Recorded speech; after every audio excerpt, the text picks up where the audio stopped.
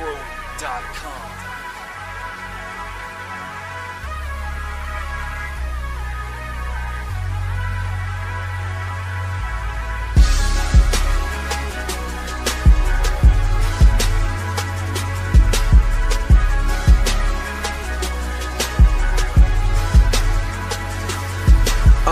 म एउटा अन्धो चहल पहलमा लद्दु। साथीभाइले मौकामा फाइदा उठाए भरपुर के तै पनि म हुन्छु होला सक्षम। किन देखिँदैछ ममा पागलपनको लक्षण? के म आफ्नो हकको लागि पनि नलडु लजा र घृणा लाग्दो समाजमा कसरी नमरु? जन्मेदेखि हात खुट्टा मेरो बाँधिएको बाँच्न नपाए पनि सपना थियो साँचिएको। पराएसँग बस्नु पर्छ भन्छन् तर यहाँ त आफ्नै बाट आफ्नै मर्छन्। हे आमा म यो कस्तो गीत गाउँदैछु? थकी भएर स्वर्गको ढोका ढकढकाउँदैछु सोच विचार गर्छु म बिचमा हराउँदिन जे सत्य हो त्यही बोल्छु। म सिधा डराउँदिन मात्र भगवान्ले निकाल्ने छन् सबै निष्कर्ष। नरो यदि मैले गरे आर्य घाटको स्पर्श मेरो शरीर आगोमा रङ्कदा लुगा लिएर मलाई मिति फर्कदा मलाई त धेरै टाढा जानु छ शान्त दुनियाँमा एक्लै हराउनु छ।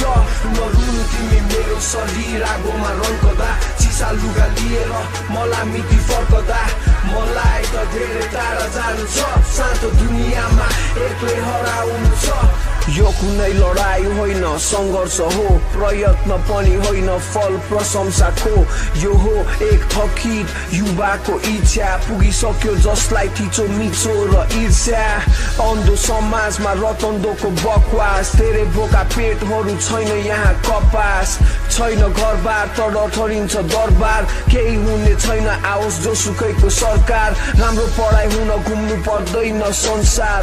एउटा माग्नेले नि दिन सक्छ शिक्षा।